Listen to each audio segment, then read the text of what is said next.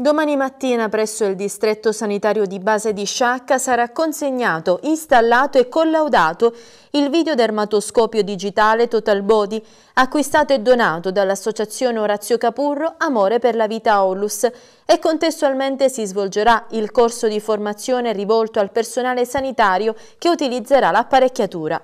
Si tratta di una strumentazione di ultima generazione, tecnologicamente avanzata, che consentirà di effettuare accurati esami e precise mappature del singolo distretto, oppure in automatico dell'intero corpo del paziente in soli due minuti.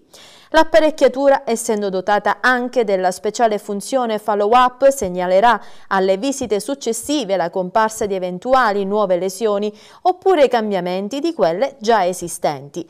Un'iniziativa benefica che avrà importanti ricadute sulla sanità e la salvaguardia della salute nel nostro territorio, che consente all'ambulatorio di dermatologia del distretto sanitario di base di Sciacca di diventare un riferimento a livello regionale. Sono infatti pochissimi i videodermatoscopi digitali total body con queste caratteristiche presenti in tutta Italia, tra l'altro solo nei migliori centri.